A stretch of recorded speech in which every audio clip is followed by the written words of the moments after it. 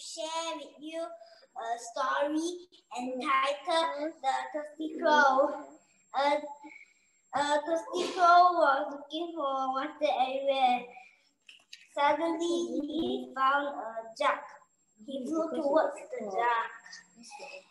There was, he there was little water inside the duck. How can I drink the water? He thought. Just then, he saw some stones nearby. Huh, I have an idea. He, he took some stones and put them one by one. The water level came up. Yes! He was very happy.